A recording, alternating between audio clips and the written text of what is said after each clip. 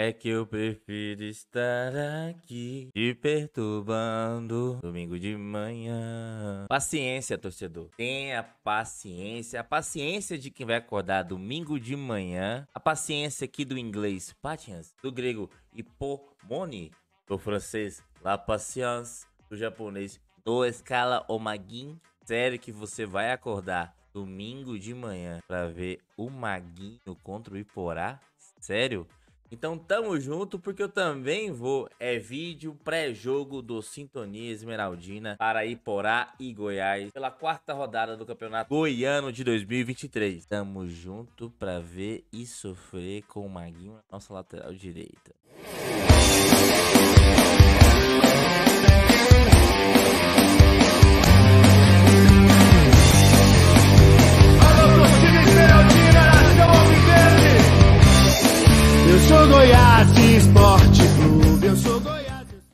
Seja muito bem-vindo, torcedor esmeraldino, seja muito bem-vinda, torcedor esmeraldina. Esse é o canal do Sintonia Esmeraldina, sintonia entre você e o Goiás. Se é a primeira vez que você está aqui neste canal, seja muito bem. Deixe seu like, inscreva, porque você apoia aqui a mídia independente esmeraldina, feita de torcedor para torcedor de esmeraldino para Esmeraldino. Te convido também a conhecer o plano de membros do Sintonia Esmeraldina. Clique no botão Seja Membro, escolha o seu perfil e ajude cada vez mais o crescimento aqui do canal. Faça parte da nossa comunidade que tem benefícios exclusivos. Também te convido a conhecer os parceiros do Sintonia Esmeraldina quem acredita e apoia aqui a mídia independente esmeraldina, a X Pro 365, a sua casa de aposta, a Conceito Goiás que tem produtos licenciados do Goiás, produtos oficiais, bonés, camisas, bermudas, vale a pena conferir lá no Instagram, arroba Conceito Goiás. Também a Shopping do Escritório, que tem uma linha de mobiliário para escritório, para empresas, para você também que tem o seu home office em casa para comprar aquela mesa, aquela cadeira confortável eu te indico e recomendo a Shopping do Escritório. E o Portão 62, que é o seu pub de esportes. Se você é aqui de Goiânia e você está querendo reunir seus amigos para assistir um jogo, seja ele de futebol, basquete, futebol americano, o Portão 62 é o seu lugar. Começando mais um vídeo, mais uma análise, mais um pré-jogo do Campeonato Goiano. Dessa vez é Iporá e Goiás pela quarta rodada do Campeonato Goiano. Amanhã, domingo, dia 22, às 10h30 da manhã, tem Goiás e Iporá, Iporá e Goiás. Goiás que vem pressionado, a torcida que vem pressionando o Goiás para o melhor futebol, a melhor performance dentro de campo, não está gostando do que está vendo. É preciso ter paciência, preciso ter paciência, mas o Goiás precisa evoluir dentro do foco que está apresentando dentro do campeonato. E aproveitando que eu estou falando de paciência, já deixa o seu like, deixa nos comentários o que você achou, está achando aí desse começo de campeonato do Goiás. Nós que estamos na expectativa aí de algumas estreias, o Johnny Lucas, Johnny Lucas que estava no Goiás desde o ano passado, não jogou por conta de documentação e vem, vinha treinando já é, integrado com o elenco desde o ano 2022. Agora, em 2023 chegou o momento, né? Ele foi regularizado Johnny Lucas foi regularizado no BID. Também temos a expectativa das estreias de Felipe e Bruno Melo, que segundo o André Rodrigues vão estar integrados na delegação do jogo de amanhã. Para contar um pouco mais sobre isso, eu preparei um material aqui para a gente analisar e contar a história de Iporá e Goiás. Iporá e Goiás que se enfrentam pela quarta rodada do Campeonato Goiano de 2023 lá em Iporá, no estádio Ferreirão, às 10h30 da manhã, no dia 22, domingão de manhã, Goiás, Iporá, Iporá e Goiás. Iporá que está em oitavo lugar e o Goiás com o sétimo lugar. A transmissão fica por conta da Dazon e também na televisão do canal da TBC, a TV Brasil Central, no canal 13 na TV aberta e também tem um aplicativo TBC Flix que fica aí na sua loja do seu celular. Eu nunca utilizei, não sei como é a qualidade, como que funciona, o aplicativo é gratuito e passa a programação do canal aí da TBC. O Dazon, né? O plano é R$ 39,90 mensal. Tem acesso a duas telas. O jogo também em qualquer lugar, na televisão e também no seu computador. Trazendo um pouco do histórico de Iporá e Goiás, que é um confronto recente. Começou a ser disputado Goiás, Iporá, Iporá e Goiás. Foi lá em 2017. Então de lá para cá foram 10 partidas, 4 vitórias do Goiás, 4 vitórias do Iporá, 2 empates. Foram 12 gols marcados pelo Goiás e 14 gols marcados pelo Iporá. Aí você olha aqui e pensa, nossa, mas o Iporá tem 14 gols, tem mais gols é, do que o próprio Goiás. Como? Em 2018, se você não se recorda, o Goiás perdeu de 4 a 1 lá no estádio Ferreirão. Jogando em Iporá, tem um equilíbrio também. Foram cinco partidas disputadas em Iporá. Foram no total foram no total duas vitórias do Goiás, uma vitória do Iporá e dois empates. Seis, gol, seis gols para cada lado. Seis gols marcados pelo Goiás e seis gols marcados pelo Iporá. Então é um confronto que tem um certo equilíbrio. Goiás tem dificuldade de jogar contra o Iporá. Então aqui o estádio, estádio Ferreirão, tem algumas imagens, fotos do gramado. O gramado lá é difícil de jogar, um gramado pesado, a grama tá alta. O estádio Ferreirão tem capacidade para 6.520 pessoas.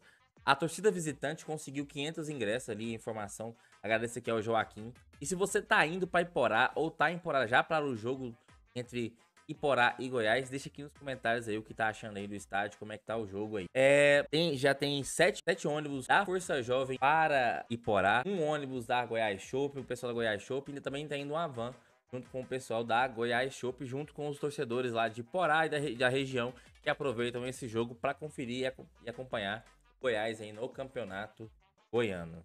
A tabela do campeonato goiano ficou assim aqui no quarta rodada. O Goiânia venceu o Aparecidense por 2 a 1 O Goiânia tá ali aparecendo em terceiro colocado com 7 pontos. O Goiânia que começou perdendo, mas depois já soma aí duas vitórias e um empate. Você vai notar aí que o Goiás está ali em sétimo colocado com 4 pontos, um ponto a mais que o Iporá. Então, amanhã, se o Goiás porventura perder, pode perder posições inclusive para o Iporá. E um empate não é interessante. O Goiás interessa para o Goiás a vitória para dar moral e também subir na tabela. Que fase, hein, Goiás? Ter que ganhar do Iporá para ganhar moral, meu. Falando um pouco da campanha do Iporá até aqui no campeonato, o Iporá que começou com vitória, depois somou aí duas derrotas. Também caminho difícil para o Iporá, né? Perdeu no meio da semana para o Atlético, vai pegar agora o Goiás no final de semana. O Iporá que tem quatro gols marcados e quatro gols sofridos, então tem, tem zero gol de saldo. Então, o Iporá que começou bem, começou ganhando aí de 3 a 0 do, do Morrinhos. Depois foi a Catalão, perdeu para o, perdeu para o craque de Catalão. E é, ali tá errado, ali tá 2x1 Iporá, mas é, vai perdoando aí. É 2x1 para o Atlético no meio da semana. A campanha do Goiás também não é de se empolgar, aqui até agora na primeira fase. Foram três jogos, uma vitória, um empate, uma derrota, três gols marcados e três gols sofridos. Goiás que fez gol em todos os jogos, mas apenas um gol. Goiás só fez um gol em cada jogo. Goiás não consegue fazer mais que um gol. Então, desafio aí para o time Esmeraldina, desafio para o ataque do Goiás fazer mais que um gol no jogo. Temos aí a expectativa de três estreias amanhã o Felipe Volante e Bruno Melo, lateral esquerdo, ambos que vieram lá do futebol cearense, veio do Fortaleza, os dois jogaram no, juntos no Fortaleza. Felipe estava no Fortaleza, Bruno Melo estava emprestado para o Corinthians. Quem também tem expectativa de estreia é o volante Johnny Lucas, que está aí no Goiás já tem um tempo. Então, com isso, a gente consegue imaginar alguns cenários onde esses jogadores se encaixam ou como o Goiás pode jogar amanhã. Por ser uma sequência fora de casa, viagens desgastantes, gramados pesados, eu imagino que o Goiás não deva ir com seu time principal, né? Time principal, entre aspas, porque embora que ainda não conseguimos né, definir um time principal do Goiás, o Goiás tem algumas peças que se repetem que jogaram todos os jogos. Por exemplo, Tadeu, o William Oliveira, Zé Ricardo. Jogadores que você tem, viu, tá vendo com mais frequência na escalação. O próprio Sander, lateral esquerdo. Então, jogadores estão se estão firmados aí, eu acredito que sejam, vão ser titulares ao longo da temporada no Goiás. No meio da semana a gente teve a estreia do Palácios, que empolgou bastante aí. Ele jogou de meia, jogou de ponta, então a expectativa é que ele possa jogar. Então montei aqui três cenários, juntando com os jogadores que vão estrear e que estão à disposição aí. Aqui eu não acabei não considerando os jogadores que vêm jogando com frequência. Nicolas, Vinícius, Bruno Gonçalves, eu considerei em duas escalações e considerei pelo tempo ali. Talvez vai controlar essa minutagem dos atletas nesse jogo. Então eu pensei a primeira proposta aqui com Tadeu, Edu e Halter formando a dupla de zaga uma dupla de zaga formada lá no Atlético Paranaense. Maguinho, lateral direita, e Bruno Melo na lateral esquerda, Johnny Lucas, Felipe e Carlos Maia no meio-campo. Johnny Lucas e Felipe fazendo ali a volância, né? Substituindo William Oliveira e Zé Ricardo. No ataque com Alisson na, na, na ponta esquerda e Palácio na ponta direita e Breno Herculano. Por que, que eu coloquei o Alisson e o Bruno Herculano nas três? Se você tá aqui, eu coloquei nas três escalações jogadores. Breno Herculano e, e Alisson ataque ali foram os únicos jogadores que não começaram jogando ainda, né? Então eu, eu quero ver esses jogadores jogando é, no time do Goiás. Uma segunda proposta que foi alterando, trocando o Edu pelo Turan, que ainda não jogou. Quero ver também jogar. Em qualquer oportunidade, eu quero ver o Turan jogando na zaga para ter uma, um parâmetro de saber se é bom jogador, se dá conta, ou se não dá conta também. Então, eu montei um time também com Tadeu, Turan e Ian Souto. Maguinho, lateral direito, e Bruno Melo. Johnny Lucas e Felipe. Aí eu já trouxe o Palácios para o meio de campo. Coloquei o Alisson na direita e o Bruno Gonçalves na esquerda, junto com o Breno Niculano. Por que eu trouxe o Bruno Gonçalves aqui? O Bruno Gonçalves jogou apenas dois jogos. Ele chegou agora, tá começando agora, então, para pegar ritmo, mesmo que seja um gramado ruim, imagino que tenha esse, esse equilíbrio aí dentro da partida. Outra proposta também é com a dupla de zaga com Edu, Ian Souto e o Hugo, nosso queridíssimo Hugo na lateral esquerda aí do Goiás. O Maguinho aparece em todas porque é o único lateral direito que a gente tem à disposição. Eu não sei se o Bruno, o Bruno Santos já chegou aqui em Goiânia, mas não sei se ele está regularizado.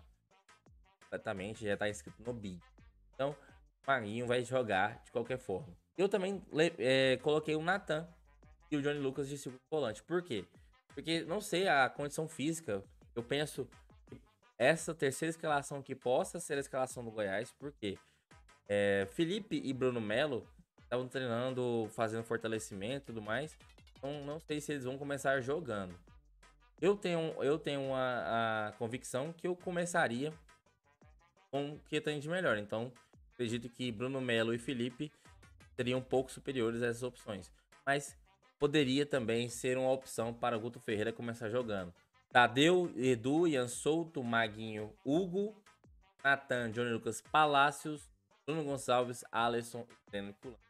É assim que eu montaria o Goiás para o confronto contra o Iporá, pensando aí em dar uma rodada no elenco e mostrar algumas opções que o elenco tem para a gente se acostumando e dando ritmo para os jogadores. Nas próximas rodadas, na, na quarta-feira, o Goiás vai a Catalão jogar contra o craque. No domingo joga contra o Vila Nova, um clássico aí, o derby do Cerrado. Depois enfrenta Inhumas e Grêmio Anápolis nas primeiras, na primeira semana de fevereiro. O que chega pressionado para esse jogo, o que chega precisando de obter resultados. O Goiás precisa obter resultados e compensa a torcida esmeraldina. Nós, torcedores, estamos um pouco pacientes, até por isso que eu comecei brincando com a questão da paciência, mas o Goiás precisa dar uma resposta, o elenco precisa dar a resposta. O Guto Ferreira precisa um cenário mais tranquilo para poder trabalhar. Bons resultados, até aqui o Goiás vem pressionado, o trabalho vai ser questionado, a própria torcida vai questionar o trabalho da diretoria, o trabalho do técnico, e isso é muito ruim de administrar ao longo de um campeonato. Então, o Goiás precisa melhorar, precisa ter essa, essa evolução dentro de campo, mostrar reação? Depois desse empate e derrota que o Goiás vem, né? O Goiás tá aí sem vencer a dois jogos. O Goiás vai ter jogo difícil amanhã. Não é jogo fácil. O Goiás precisa da vitória.